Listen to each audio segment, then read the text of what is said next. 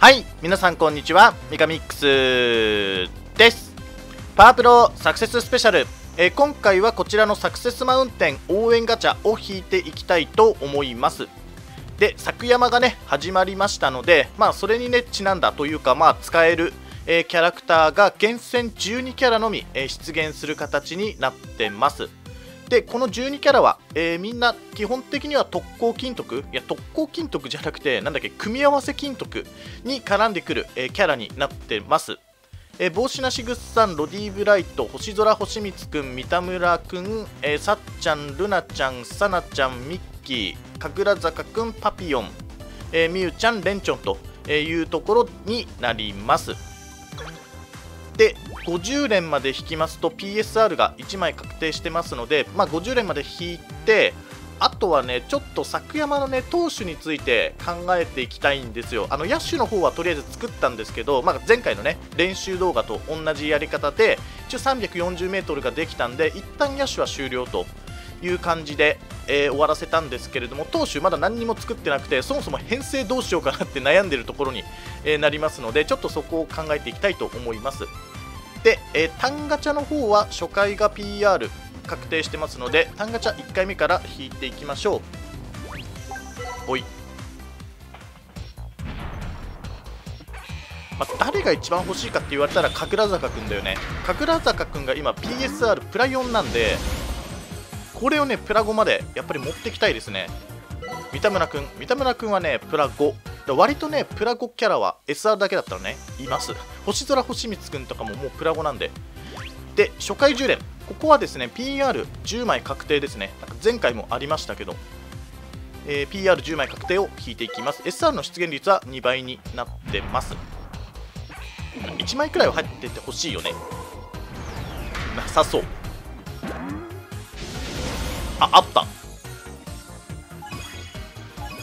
神楽坂くんが欲しい。さっちゃんも一応 PSR 持ってんだよね。ぐっさんいいね。ロディブライトもいいね。みゆちゃん。さなちゃんはねサンタさながもうプラゴだった気がする。お目当ての神楽坂くんが出なかったけどまあぐっさんもね45になると試合経験点つくんでまあ、レベルは上げていきたい、まあ、ただグッサンはね通常グッサンから解放できるんでえーとでは20連目。ここは SR が確定ですと。あ虹が来た。あとはキラーン。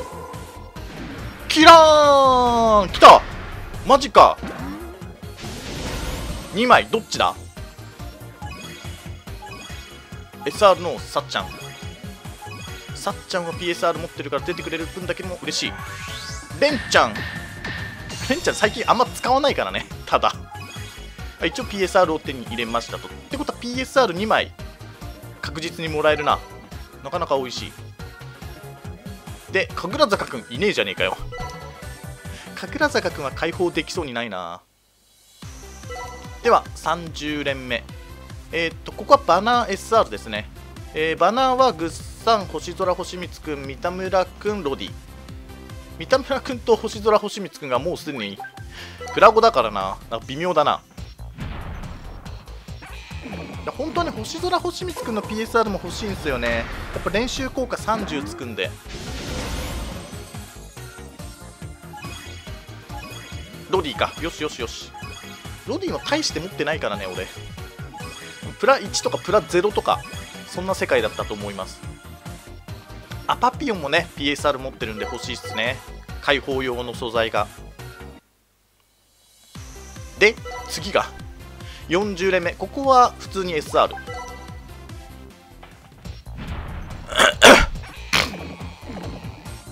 ほい。演出はなんか PSR 確定以外はなんかいいやさなちゃんかある。あ神楽坂くんの PR がようやく1枚出てくれた。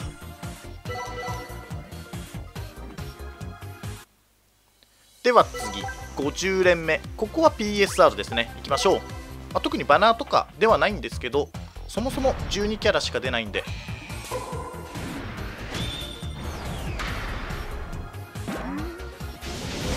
1枚。これはみゆちゃん。あんまり使わない。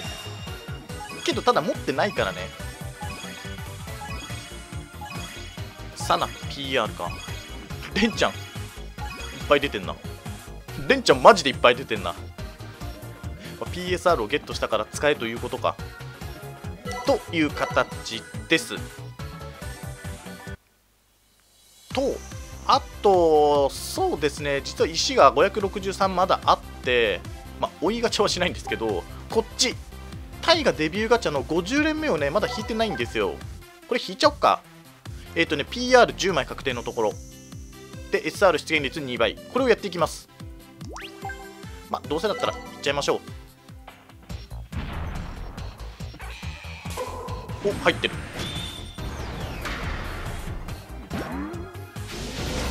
おしかも2枚入ってる。さすが2倍だね。ここはもう解放用まほちゃん、まあ、あと通常キャラもね普通にですやばいくん。やべくん。やべじゃなくてやばいが欲しい。で相良さんはねえー、っとユニフォーム相良さんに使えるんでユニフォーム相良さん確かプライ4だったと思うんで。で東雲くんもジェントル東雲くんの PSR 開放用に使えるんでまあまあまあいいですね。という感じでガチャはまあこんなもんにしておいてあとはサクセスマウンテンの方ですね、まあ、野手の編成についてはちょっと前回の練習動画を見ていただくとして今悩んでるのがだから投手なんですよで投手の編成になると要はサッカーキャラをなかなか入れらんないと思うんですよ。まあ、もし入れるとしたら彼女キャラの、えーと、ユールちゃんを入れるというところになるんですけど、ユールちゃんをね、入れるかどうかっていうのでちょっと悩んでる。で、サッカーキャラが1人でも入ってれば5メートルという感じになるんですけど、5メートルって要はどれくらいっていうと、緑徳のじゃなくてごめんなさい、普通の青徳。青徳5つ分なんですよね。で、青徳5つ分って結構でかいよね。だって金徳1つ分っていうことでしょ？それ考えるとやっぱりユールちゃん入れた方がいいのかなと。で、ユールちゃんを入れるっていうことになると、えー、っと、どれだっけ？形勢逆転じゃなくて、あれ、金徳なんだっけあの人？なんか忘れちゃった。先手出脱は、そうそうそう、先手出脱。下の方にあるのかな？先手出脱どっかにあったよね。あれどこだ？先手出脱先手あ先手出脱だそうかこっちか。こっちの特攻だ。だからこれ持ってると 20m になるんでまず先手出脱をユールちゃんで取って、まあ、あとどうしようかっていうところですね。であと変化球でね固める必要もねないと思うんですやっぱ特能を取っていくっていうことが重要なんで必要なのはやっぱりね技術と精神。これはめちゃくちゃ使うんで技術精神をね稼げるキャラクターでいきたいなと思ってはいるんですけどそうだね。あと一気揚々をロディで取って本塁打現金はシナリオ。強心臓もシナリオ。でジャストフィットをえー、サンタ、サナちゃんで取ってど根性をまともにして腹痛を大谷君挑戦者大谷君で取って、えーと、ミスゼロをシナリオで取って驚異の切れ味を神楽坂君で取ろうかなというのを今、えー、悩んでますというところですね。これでまあちょっと、えー、やってみます。まあそんなわけで、えーと、次はですねサクセスマウンテンの、えー、投手動画になりますかね。をちょっとやっていきます。でそう 340m でどうなのかっていうと別にまだで今がですね、まあ、あの野手ベスト 340m で投手ベスト 0m ということで本当に投手は、えー、やってなくてですね、まあ、ちょっとランキング詳細見るといろんな人のあれが見えちゃうんで あれなんですけどあの野手 340m で投手も仮にですよもう絶対出せないんですけど 340m を出せると多分ランキング1桁とかに、えっと、ランクインするはずなんだけど投手の方が絶対難しいはずなんで投手どれくらいだろうね、まあ、300超えて300は超えたいです300超えて320かな320とかに出せれば、まあ、結構いいところに切り込めると思いますので、まあ、ちょっと野手はもう340で一旦置いておいて、えー、投手の方を作っていきたいと思います。まあ、そんな感じですね。えー、というわけで、えー、今回はこれで終了したいと思います。え最後までご視聴ありがとうございました。えチャンネル登録、Twitter のフォロー、えしていただければ幸いです。